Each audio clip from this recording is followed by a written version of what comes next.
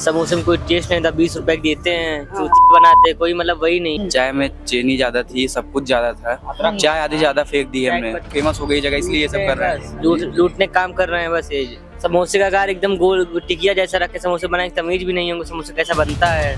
ये भी जो यूज़ कर रहे हैं ये भी ना डालडा की है ठीक है? डालडा की मैंने देखा बिल्कुल जमा पड़ा था जो ये यूज़ कर रहे हैं ना ऑयल ये भी थर्ड क्लास ऑयल ही यूज़ कर रहे हैं। क्वालिटी को यार हर फ़ूड वेंडर को ना इम्प्रूव करना बहुत ज़रूरी है। ऐसा नहीं यार, तुम पैसे लेने के बाद तुम कुछ भी खिला रहे हो। ये चीज़ गलत है।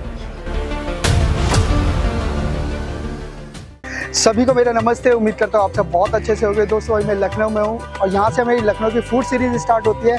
हम जैसे जैसे शूट करते जाएँगे, वैसे वैसे आपको दिखाते जाएँगे। दोस्तों, अब हम अपना ब्रेकफास्ट स्टार्ट करेंगे। शर्मा टी स्टॉल से बहुत बहुत ज़्यादा क्रेजी प्लेस है ब्रेकफास्ट के लिए। लोग ना बहुत बहुत ज़्यादा पसंद करते हैं इनका बन बस का, इनका समोसा, इनकी टी हम भी ट्राई करेंगे और आपको अपना एक्सपीरियंस बताएँगे कि हमारा एक्सपीरियंस यहाँ का कैसा रहा। आइए।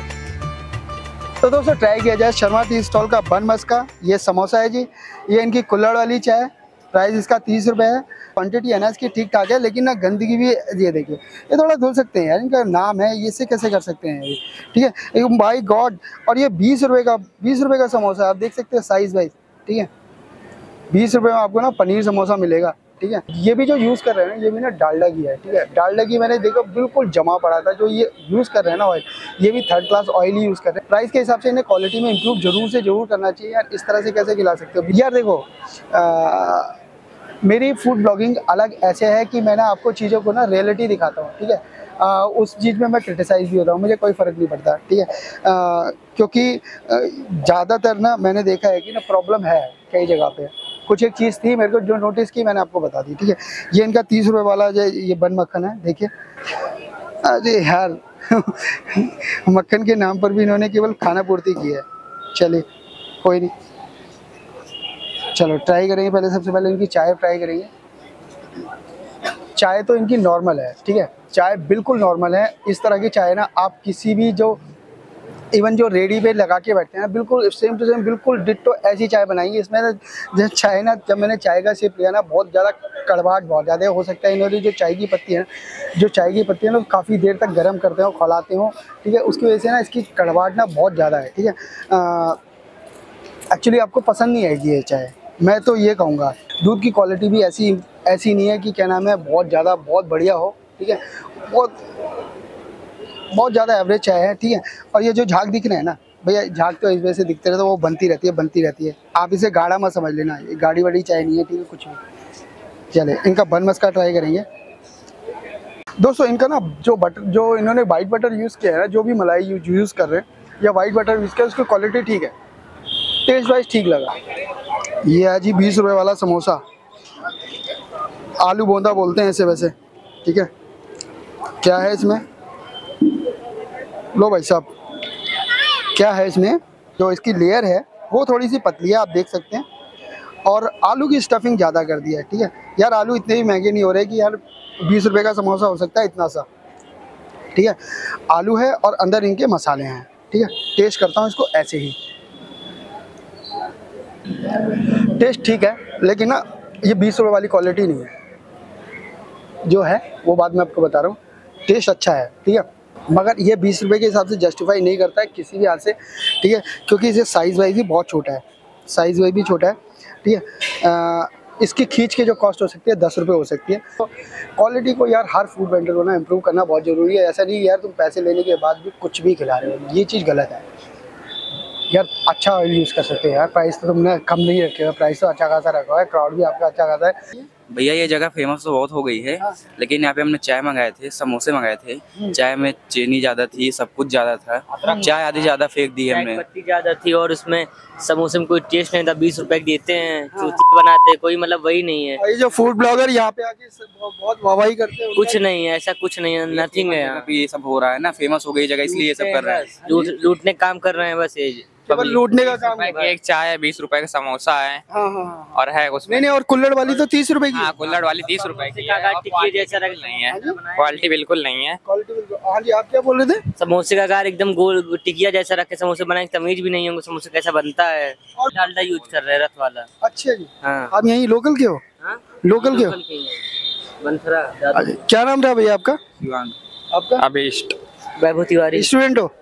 अच्छा एक हल्का सा फीडबैक देना है, जहाँ चाहे अपने ओनर को दे देना, ठीक है?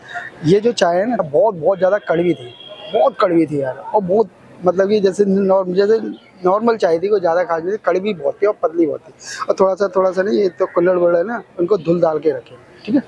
ये आजकल बहुत कॉमन है, किसी फ़ेमस यूट्यूबर को बुलाओ एडवर्टाइजमेंट कराओ वन टाइम इन्वेस्टमेंट है क्राउड आएगा, फिर प्राइस हाई क्वालिटी लो मैं ये समझता हूँ, आप जिस फ़ील्ड में हो, आपकी वजह से कुछ बदलाव ज़रूर होना चाहिए। एडवर्टाइजमेंट कराना गलत नहीं है, लेकिन उससे ज़्यादा ज़रूरी है उस क्वालिटी को मेनटेन रखना। ज़्यादा प्रॉफिट की वजह से फ़ूड वेंडर ने बहुत गंदा कर दिया है, जो डायरेक्टली हमारी हेल्थ को इम्पैक्ट करता है। वीडियो को ज़्यादा से ज़्यादा शेयर करें, जिससे कि इस वीडियो का मैसेज उन लोगों तक पहुँचे, जो गलत तरीके से चीज़ों को प्रेजेंट कर रहे हैं और प्रमोट कर रहे हैं।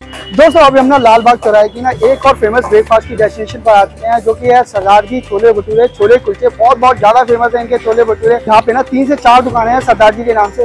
ओल्ड कौन सी है, सबसे पुरानी कौन सी उसमें आप कंफ्यूज हो जाओगे। हमने यहाँ पे लोकल से पूछा, उन्होंने बताया कि ना ये है ऑरिजिनल हम भी देखेंगे इनका क्या सेटअप है और क्या क्या इन पे आइटम है।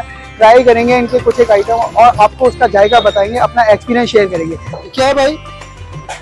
है दिखाइए थोड़ा सा चलेंगे मिला दिया इसको हमने। अच्छा अच्छा इसको हमने। अच्छा मेल्ट कर दिया। इधर भी मक्खन रखा हुआ है।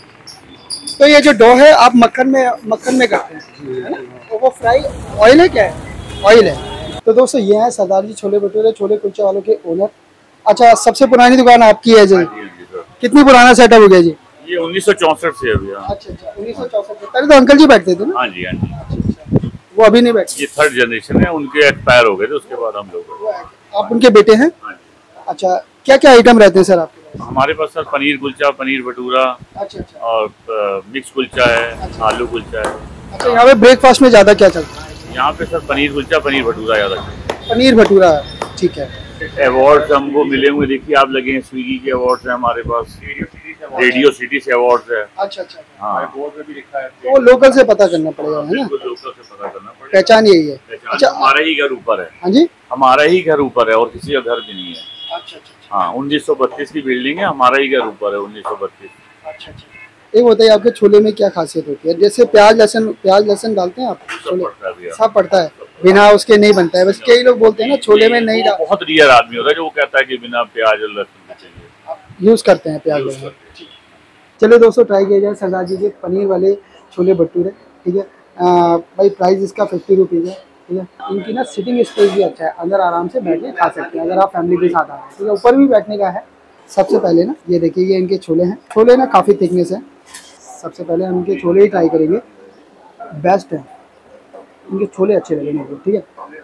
हल्के फुल्के स्पाइस महसूस होंगे, ठीक है? लेकिन सही मसाले यूज़ किए हुए इन्होंने, ठीक है? बढ़िया, ठीक है? ये देखिए, छोले की क्वालिटी एक एक छोला ना, ये देखिए, छोले की क्वालिटी ऐसे पता लगती है। ये है जी इनका पनीर वाला भटूरा। ये ये लीजिए। अच्छा जैसे इनकी फिफ्टी रुपीज़ कॉस्ट है, ये देखिए ना फुल ऑफ़ स्टफिंग अच्छा है जस्टिफाई करते हैं भैया और जो मैंने इनका ऑयल भी चेक कर लिया ऑयल भी इनका साफ़ सुथरा है। ऐसा नहीं है कि गंदा ऑयल यूज़ कर रहे हैं। ठीक है। कई जगह बिल्कुल डीजल जैसा ऑयल होता है, उसमें तल देते हैं, वो चलाते रहते चलाते रहते हो। सकता है रीयूज़ भी करते हो, लेकिन यहाँ पे ना तेल है ना, बहुत साफ़ सुथरा है। ठीक है। सैलेड में इन्होंने प्याज है मिंट का है, मिंट की चटनी है और ये अचार है। पहली बाइट बनाएँगे इसके साथ। बढ़िया ऑयल यूज़ करेंगे ऑब्वियसली टेस्ट आएगा, ठीक है? इनकी स्टफिंग अच्छी है, पनीर की पनीर की क्वालिटी अच्छी है, ठीक है? जिसकी वजह से इसका जो टेस्ट है बहुत इनहेंस हो रहा है। पनीर की जो स्टफिंग है, पनीर की स्टफिंग में ना कस्तूरी मेथी भी है और इंक्लूड मसाले भी हैं। केवल नॉर्मल ना पनीर यूज़ नहीं करें। जो आलू का पोर्शन है ना, बहुत थोड़ा मिलेगा इसमें, ठीक है? मोस्टली इन्होंने पनीर का इस्तेमाल किया है। कई जगह क्या करते हैं इतने छोटे छोटे से भटूरे होते हैं, उसमें मामूली सी स्टफिंग कर देते हैं पनीर की, ठीक है? और वो प्राइस वो फुल लेते हैं, ठीक है? लेकिन ये है कि भैया, अगर आप आ रहे हो, एक आपके लिए सफिशिएंट रहेगा, क्योंकि ये बहुत हैवी है। मस्ट रिकमेंडेड है ये जगह। ज़रूर से ज़रूर ट्राई कीजिए इनके छोले भटूरे। छोले कुलचे भी आप ट्राई कर सकते हैं। अच्छा है क्वालिटी के साथ दे रहे हैं।